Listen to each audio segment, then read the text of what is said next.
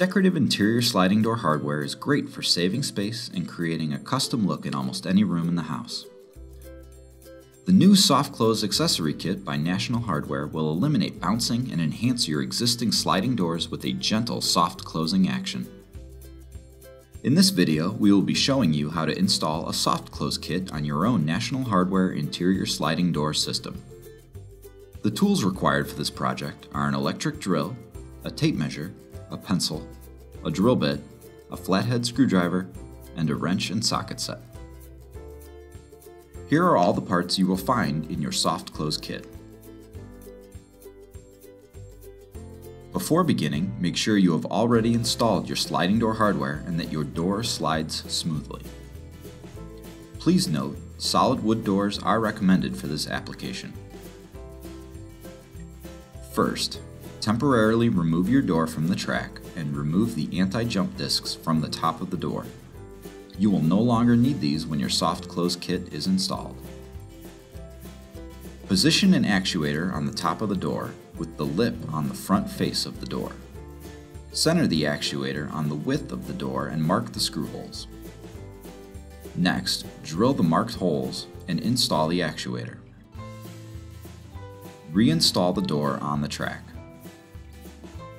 Slide the door to the closed position and use a pencil to mark the center of the actuator on the bottom of the track. Then, slide the door to the open position. Install a mounting bracket on both ends of both soft close assemblies. Make sure to install the mounting brackets as high as possible on the slotted holes. Check that the set screws are flush with the insides of the mounting brackets. If needed, use the supplied hex wrench to back them out until they're flush. Now, install a soft close assembly on the bottom of the track. Center the catch gap on the pencil mark you made in step 2. Please note the two soft close assemblies in the package are not identical, so make sure to install the assembly with the angled lever closest to the center of the track. If you can't center the catch gap on the pencil mark because of a track spacer, just shift the position of the soft close assembly so you can install it directly next to the spacer. In this case, you may need to remove or reposition your doorstop. Use the hex wrench to tighten the set screws and secure the mounting brackets to the track. Now, use a flathead screwdriver to pull the catch towards the center of the track so that the soft close assembly is in the open position. Use caution here as this may require some force. Slide the door to the closed position. It should now close softly and smoothly. Next, measure the width of your door. If your door is 34 inches or less, continue on to step 6. If your door is wider than 34 inches, skip to step 7 at the time indicated below.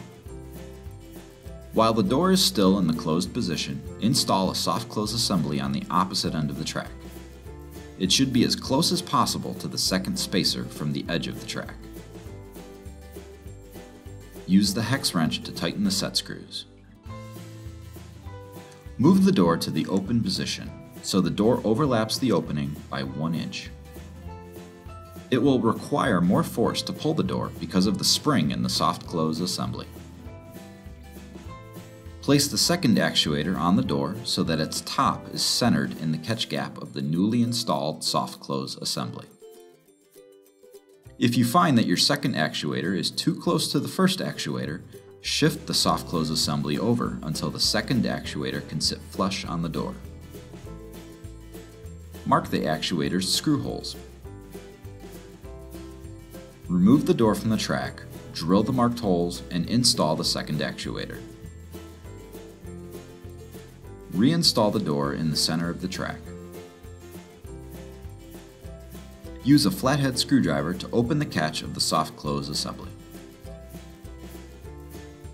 Slide the door to the open position. It should now open softly and smoothly. If your door is 34 inches or less, your installation is complete.